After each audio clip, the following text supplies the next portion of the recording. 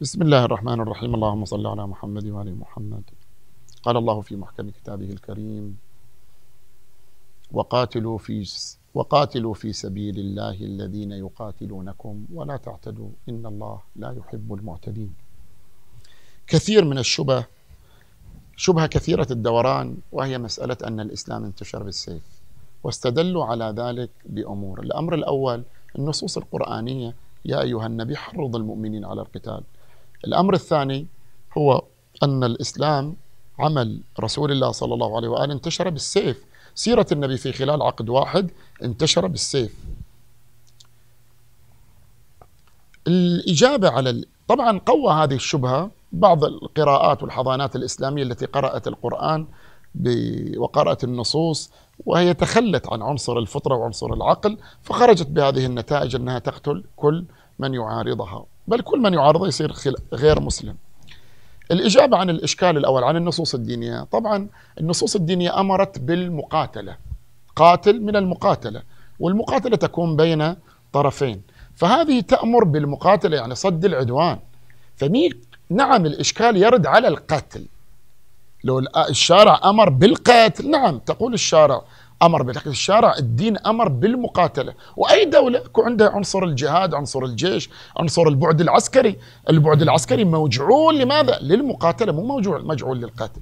بالي فهذا الجواب الأول. الجواب الثاني إن إحنا إذا أردنا أن نقرأ النصوص الدينية ما نقرأها ببعد واحد نظرة تجزئية. لابد أن نقرأها بنظرة مجموعية. كيف نظرة مجموعية؟ يعني أقرأ هذا الدليل مع هذا الدليل. الآن أنت لما تنظر للقانون الدول تنظر إلى قانون العقوبات. لما تنظر لقانون العقوبات تقول قبيحة لكن لما ترفق قانون العقوبة السجن مع قانون القوانين تشوف لا بينهما أصل الملائمة أصل الوئام. ليش؟ لابد إذا كان عندك بعد قانوني لابد يكون عندك بعد جزائي. فهذا من حسن لما تنظر إلى البعد الجزائي بواحد يصير قبيح لكن لما تنظر في ضمن المركب الإطار المركب تشوف لا يعني من ضمن جزء من المنظومة تراه حسنا. ذلك. كذلك لما ننظر للقرآن الكريم أكو عندنا آيات تأمر بالقتل. يا أيها النبي حرض المؤمنين على القتال. زين أكو عندي آيات. وقاتلوا الذين يق... وقاتلوا في سبيل الله الذين يقاتلونكم. ولا تعتدوا إن الله لا يحب المعتدين. اذا القتال مقيد بماذا؟ مقيد بالعادل مقيد بعدم الاعتداء. كذلك الآيات القرآنية وما ربك بظلام للعبيد إن الله يحب المقسطين. إن الله يأمر بالعدل إذن هذه كل الآيات لابد أن نقيد بها الآيات الأخرى. يعني حتى الآيات التي إذا انسلخت الأشهر فاقتلوا.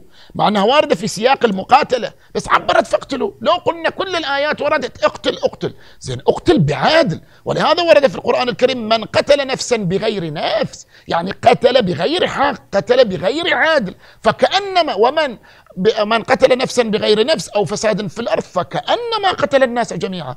يعني الذي يقتل بغير حق ونفس ما قال مؤمنة ما قال كافرة نفس إنسانية النفس محترمة في الدين. من قتل نفسا بغير نفس بدون حق فكأنما قتل الناس جميعا. أما بالنسبة إلى سيرة النبي صلى الله عليه وآله سيرة النبي صلى الله عليه وآله النبي وجد في مجتمع لا يعلم إلا لغة السيف. فكانوا كثير كل الحروب التي أنشئت على الرسول كانت حروب عدوانية. وكل حروب التي حاربها رسول الله إما عدوانية إما استباقية أو دفاعية. يعني يدافع عن نفسه. أو أن النبي صلى الله عليه وسلم يستبق يجهز له الطرف الآخر عداد الحرب النبي صلى الله عليه يباقته. ما عندك مستعد للحرب لكن اللي يدخل عليه عن طريق بغتة. هذا يسمونه حرب دفاعية وحرب استباقية. هذه حروب النبي صلى الله عليه وآله. وأما الحروب مع اليهود ينظر الإنسان إلى التاريخ. حروب مع اليهود مع بني النضير وبني قريطة وبني وبني وبني كلهم لأنهم أخانوا خانوا رسول الله. النبي لما نزل المدينة أخذ عهود. من لأنهم لا يوالون رسول الله لأنهم على يهوديتهم. لا يوالون النبي صلى الله عليه وآله والنبي أخذ عهود عليهم ومع ذلك نكثوا العهود. والذي يرجع إلى التاريخ يرى أن النبي أجلاهم لم يقتلهم. نعم بنو قريظة لأنهم حكموا. سعد بن معاذ لأنه كان صديقهم حكموا. قالوا إحنا ناخذ بحكم هذا. ولا لو طلبوا الإجلاء لأجلاهم رسول الله. كما أجلى بنو النضير وكما أجلى الخيبريين. مع أن الخيبريين أجلاهم ثم عادوا وغدروا برسول الله صلى الله عليه وآله.